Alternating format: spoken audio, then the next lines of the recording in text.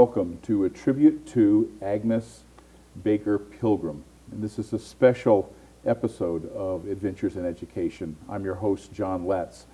And this is part two of this tribute. If you want to see part one, probably the best way is to go to the archive site, archive.org, and you'll get to see part one. And of course, if you want to see this part again, part two, that'll also be at the archive site. Uh, I have two guests here that are going to help in this tribute. I have Tish McFadden and I have Thomas Doty, storyteller. And uh, I just want to do a, a quick um, kind of check in and let, uh, excuse me, I am going to cough.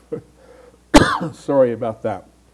Okay, so in part one, we saw a lot of, of Grandma Aggie's activities that people uh, got to know in the valley, mm-hmm. uh, the Rogue Valley. And by the way, the Rogue River is sacred. Yes. And so is the water in the river. And according to Grandma Aggie, all the water is sacred. Now, I think it's wonderful the way that she always blesses her water. And so instead of coughing again, I'm going to thank this water for settling my throat. And you know, it's kind of it, it's it's kind of funny because having heard her say so much about being thankful for the water, mm-hmm. we were talking before the program. That thankful heart gets transferred to other things. Yes. So yes, the water is absolutely we can't live without it. Mm-hmm. But you know, maybe you thank your car for bringing you someplace, you know, or you know, you thank your pet for giving you comfort. You know, yeah there's so much, and, and she definitely had that that thankful heart, I think, that anyone could see who was a in her spirit of gratitude. Spirit of gratitude. For everything. And, and you came up, Tish, with 25 of her teachings. Yes. And um, uh, gratefulness or thankfulness was one of them. Definitely. And a little bit later, uh, Grandma Aggie herself is going to talk about the sacred salmon ceremony Mm-hmm. And there's a whole part of that with reciprocity, which was another the giving major, back, yeah. The giving back.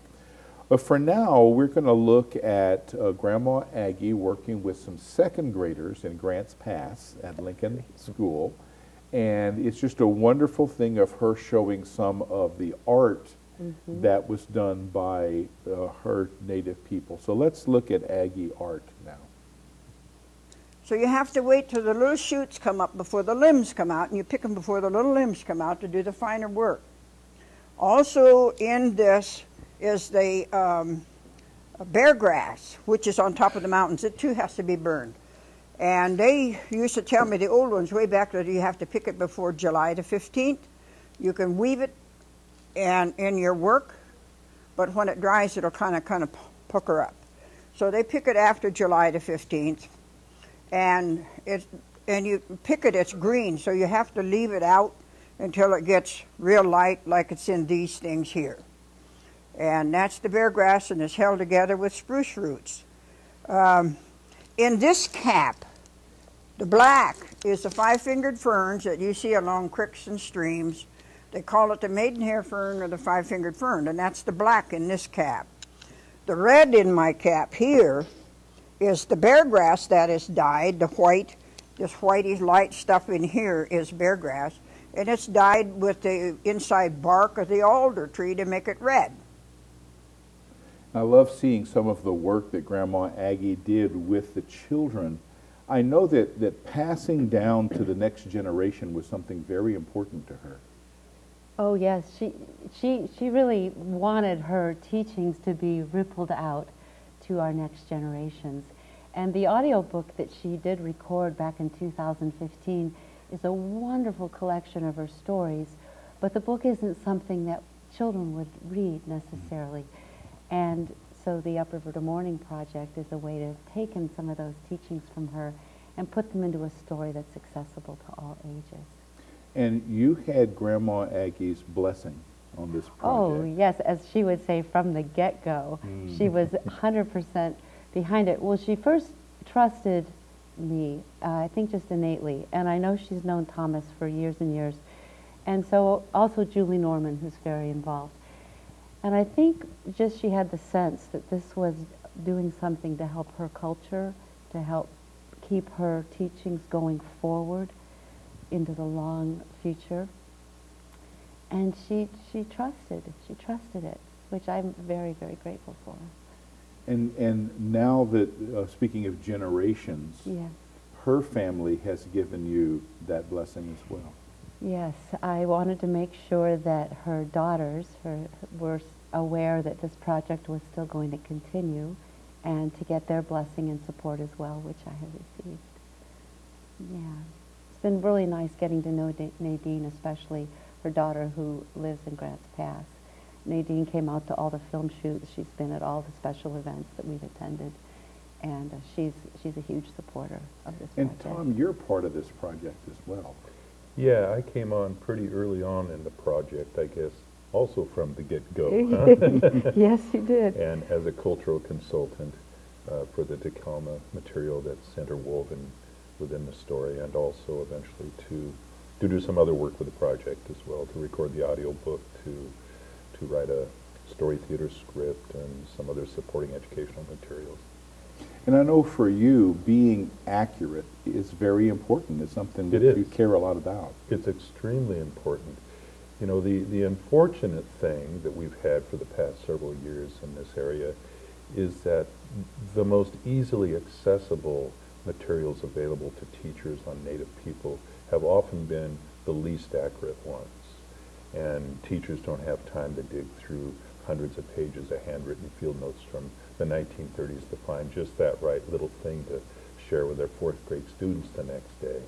And so having Upriver to Morning fill that void, have something incredibly accurate with all the educational materials there that the teachers can use, and the trust that this is really Takelma culture accurately portrayed, I think that's really, really important. I also love the way that you share a lot of this material, and you've had years of going mm-hmm. through this, and, and you share that on your website. Yeah, mm-hmm. it's a, it's a big website. There's 1,500 pages of stuff. There are a lot of free resources on Native cultures. And, you know, I was blessed to have wonderful teachers and resources available to me as I started into storytelling, continued through storytelling. So this is my way of giving back, giving back some of those sources I used and, hmm. and having those available. And I kind of picture the next generation of storytellers stepping up and, and taking what I've had to offer as well as what I learned from into the next generation of, of storytelling in Takelma culture. And I would say to anyone wanting to go to that website, don't let the 1,500 pages turn you off because it's very user-friendly. Yeah. And, and I Very always, well organized, Yeah, I isn't it? find little Yeah. treasures there all the time. Well, speaking of treasures, uh, Grandma Aggie had a lot of importance on music. And in the next video clip, we find out at least partly why that became so important to her. So let's watch this video clip of Aggie and music. My father was a musician. And all through Lincoln County, Oregon, where I grew up, there were signs all over the stores and businesses dogs and Indians aren't allowed. And so my dad was smart. I didn't realize how smart until I grew up because he made us all to pick an instrument to play because he could play all kinds of instruments. And so we got together, all of us, my brothers and sisters, and so we had a band when we were young, and we used to play for dances. And as I grew up, I found out my dad was right because music is a wonderful gift that you could give yourself. That it made you fit and belong. It's what had happened to my brothers and sisters. We fit and we belong. And so it was a good thing because my dad, I think, was a far seer that he could see that it would help us. And it sure did. He was right. And so I used to play it. Oh, I used to play violin, piano, plectrum, banjo, ukulele, and all of these instruments. And I used to, when I was young, sing all over Oregon. And when KWJJ in Portland of uh, act didn't show up, they'd call me to come and fill in. You're watching a tribute to Grandma Aggie, and you just heard her talk about the importance of music. And one of my guests is very involved with music, and that's Tish McFadden. Tish, Yes. you even teach music. Yeah, and it's an accidental profession. It, I, I started teaching music after my anthropology and archaeology career here in southern Oregon. But I wanted to mention the parallel with Agnes. She said it was her father who got her into music, and she learned many instruments and sang all across the country. And just, I want to honor my dad, who was the, my inspiration for music since when I was uh, old enough to sit on his lap at a piano and my feet swinging in midair. But music's been a big part of my life, and I've taught music for 31 years in Ashland at the Rum Tum School of Music. And the point, just to echo Aggie's love for music and knowing its importance, like she says, it, it opens doors, it helps you connect with people, is I've, I've taught ages 4 to 94, all through every, every generation, decade. And I witness it every day, the joy music brings and the connections it brings. So this piece from Aggie is a place I feel personally very connected to her. Wow, and, and she, that was part of the, that interview was part of uh, of, Morning, of yeah. your upriver to morning. Yes, it was. Now, uh, Tom, I I learned from you that in the storytelling of the Takelma people, the first words out of someone's mouth in telling a story are Willie Yowo, which means there was a house. there was a house. Well, there was a house in our lifetime too. So let's uh, let's let's see this. This is Grandma Aggie talking about the traditional type of house that was built by and lived in by the people who live here. Hello, my name is Taowhywee, and my English name is Agnes Baker Pilgrim. As I sit here in front of this pit house that I think is the only one in Oregon that through a grant that we received in 1999, we were able to build this little pit house here by the Kerbyville Museum. Some people donated some logs and there were a lot of knots in it, so they weren't able to split them by hand. So we had to bring into uh, over here a little portable mill to slab this lumber, which blew the authenticity. But still, it's a wonderful little replica of what my people lived in hundreds and hundreds of years ago. To sit here now and to speak and be their voice of the ancient ones was quite a pleasure for me. This little house that has a pit inside, build your fire down in the middle and of course towards the top with a smoke hole. And that where you could make a bed around the edges and sleep there. So they could put little shelves in there too for their clothing or for their food. This uh, picture here is of a dragonfly. And my people believed that they were the transformer, which meant that when they died and went to the Star Nation, that they came back as dragonflies. Uh, even when I was fishing, they come and sit on my fish pole, and I talk to them, and, and, and just like they were human beings. But they've been a phenomenal thing in my life, and so uh, maybe they touched your heart too. So Thomas Doty, she she ended with this whole thing with the dragonfly.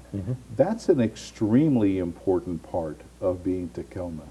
It is. The, uh, the Dragonfly brothers, who we call the Daldal brothers, are both tricksters and transformers. They, in the Takelma culture, the traditional mythology, they travel up the Rogue River to prepare the, the landscape, the, the Takelma world for the arrival of the people. And uh, the Daldal brothers also make an appearance in, in Tish's story, Upriver to Morning.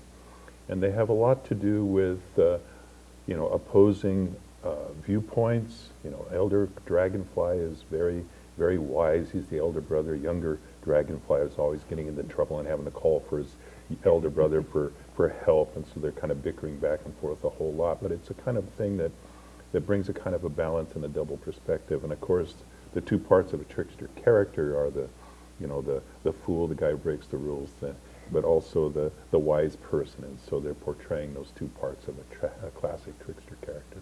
And I'm glad she had, we, we had a chance to have her introduce that whole concept. Which, by the way, Aggie was very good at doing as well. She was a wonderful, wonderful elder, uh, the grandmother to everybody, but she had her little bag of tricks as well. Someone said you don't want to get in, in between her wheelchair and where she was going. and, and especially if she had her cane. Well, when someone knows what they're doing, you Boy. know. it's- Yeah. Um, well, let's hear, one, one of the things that, that, that Grandma Aggie knew what she was doing was restoring the sacred salmon ceremony. And this is a, a wonderful little video clip of her explaining that whole process. So let's watch uh, Aggie's sacred salmon too. I would like to talk to you about the salmon ceremony that uh, started at that powerhouse dam about a mile up to Gold Hill, from Gold Hill, Oregon, on the Rogue River on the south bank. Thousands of our native people of all bands came right here to do what we're doing here this weekend. And so this is the first on the Rogue River in over 151 years to bring this culture and the old paradigm back to the people. And I feel very honored in the presence of the unseen, my ancient people. I know the old people said, when you call them, they come. So the unseen walks among, amongst us here today. And I feel honored to be able to follow in their footsteps, teaching reciprocity, how to give back. This is why our divers are out there in the sweat lodge, doing a purification sweat. That when they come over here, by then we'll have a taste of the salmon and you bring all the skin and bones back to me. When the divers come with cedar boughs on their hands, which are, are sacred to us also, that they will then eat some of the fish. And the bones and skin are placed like that on their hands. The drum starts and drums them to the river. They too pray to the salmon people, who the old ones said they looked like us, but they lived in beautiful cities below the ocean floor. That they took on the shape of the salmon, the flesh of the salmon, every spring and every fall to come back up this river to feed us. This is why I teach reciprocity, how to give back those bones and skins that the divers try to place at the bottom of the water and praying to the salmon that they're sacred and allow these skin and bones to go back into salmon again so that they can come back to feed us every year. We did this for 13 years on the Applegate. The second year, here come the state fish and game, said, we don't know what you done, but there's more salmon than we ever heard of in the Applegate River. I didn't do anything, Creator did. We do these things in a good way, then the Creator blesses us in that manner. We certainly see a lot of Grandma Aggie's uh, spirit in that video clip. And uh, Tom, I know you've been involved with with these uh, uh, sacred salmon ceremonies uh, back when they were having it at the Applegate River, and now in the um, uh, the location that's uh, very special to Them. Well, after several years out on the Applegate, we did the ceremony there because the original site at Tilomikh Falls on the Rogue River was not available to us. And the Forest Service offered this piece of land, so we did it out there. Well, in around 2006, Stephen Kiesling bought the property at Tilomikh, and he had a connection to this property. He, he knew it was important. He didn't quite know at first why, and somebody said, oh, you should talk to, to Tom Doty. And so I, I talked to him about salmon ceremony that happened there, and I introduced him to Grandma Aggie, and the three of us planned to bring the ceremony back to its original site at Tilomikh. And so one uh, December twilight in 2006, on a very rainy night, the three of us stood on the overlook looking over Tilomikh Falls at the story chair where Aggie's father had sat back in the 1930s. And Aggie did this wonderful blessing, uh, bringing the salmon people back and the ceremony while we held an umbrella over her head. It was, but um, it seemed very appropriate because we were talking also about water. So not only was the river there, but the heavens were pouring forth lots of water as well. That's great. What an unforgettable Yeah, moment. yeah. What a- Well, let's, uh, Grandma Aggie this year, um, in 2019 in August, received the highest award from the university here called the President's Medal. Let's uh, see uh, some video about that ceremony.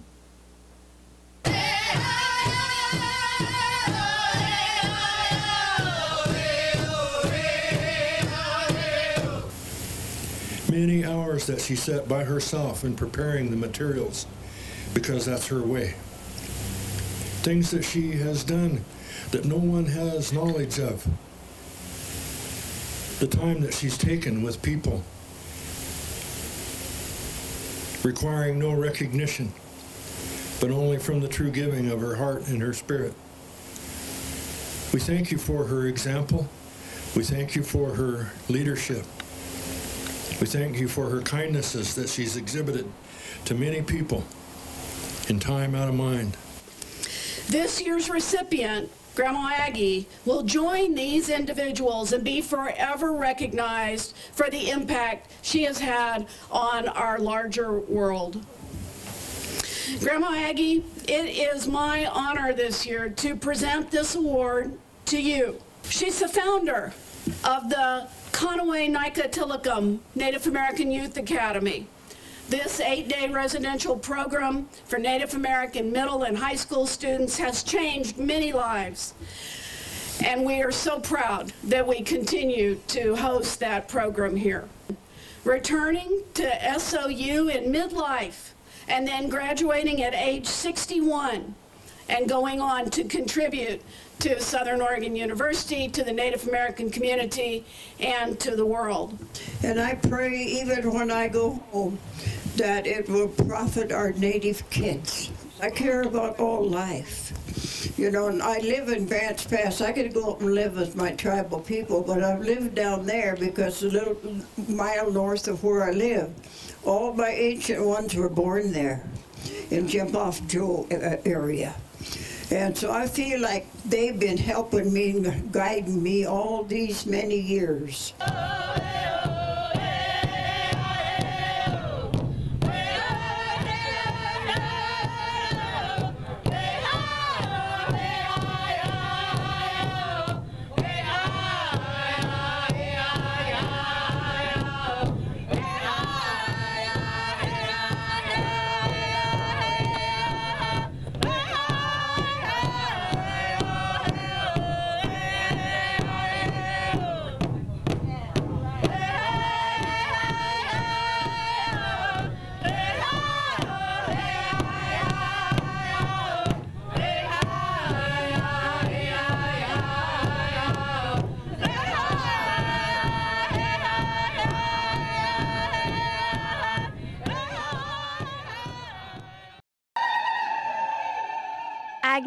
Baker Pilgrim, a beloved community member and a grandmother to all, passed away in late November at the age of 95.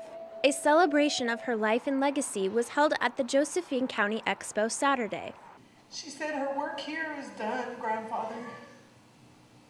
But you see everyone here. She was the oldest living member of the Takelma people and a strong advocate for the environment and Native American culture. The room for Grandma Aggie's celebration was packed to the brim with people who say that she was one of a kind. I think her tough as nails and yet sacred spiritual nature, the combination was such an incredible paradox. She was a magic person in this life. I feel like she she reached out to so many and her heart was just so pure. Prayers and stories were shared, tables set up with art and pictures, all showcasing Grandma Aggie's incredible life and accomplishments. It's a remarkable life. That's a lot of years put together in, in service. Very joyful. I just I just see her dancing right now. I can just feel her. Celebrating her legacy brought out many emotions for those around. To sit here and to be here and recognize it and just to see it all laid before us is just such a beautiful thing. In Grants Pass, Mariah Mills, NBC5 News. So that was the uh, celebration of life in Grants Pass. And uh, Thomas, you had a poem that you contributed to that event. I did. I did. Uh, it's a poem called Grandmother, and it's a poem I wrote about Grandma Aggie and water and all of those wonderful things that she likes. It goes like this. You grandmother, you creek, foaming away and away down the hills to the sea. I want to slant a tree across your flowing, slow you down, make a pond, dive deep and deeper under the froth, till the spring flooding the currents all yellow with pollen shakes loose the log dam, takes you and me away and away where the sea and the sky foam together. Wow. You Mm. know, and Beautiful. that's a beautiful poem and a great, a, a great uh, way of, of making the circle come back, Yes. just like the, the water that you're talking about, Yes. the, the complete circle. I want to thank both of you so much for helping with this tribute. It's been a privilege. Thank you, indeed. And I have a lot of people to acknowledge and, and, and uh, thank. Julie Norman uh, was involved with that clip on the art. Of course, Upriver to Morning, we've used a lot of, a lot of things, that, uh, video that's involved with that. That one about the house was a Mystic Corridor presentation. Uh, Sacred Salmon, uh, Ralph Bowman was the producer of that video clip. Um, of course, uh, for the SOU uh, event, uh, Pete Bedell, Brian Horton of KOBI, uh, I want to thank them for letting us use that. And then, um, of course, I want to thank my crew. You guys have done a wonderful job of putting this together. Doing credit to this type of program of, uh, I wanted, I I definitely wanted a good, respectful tribute, and I'm glad that we got that. And so, thank you, crew. Thank you for watching. Uh, and I'll just say that um, if you want to watch this and, and part one, uh, just go to archive.org and it'll be posted on there fairly soon. So, thanks again for watching. I'm John Letts.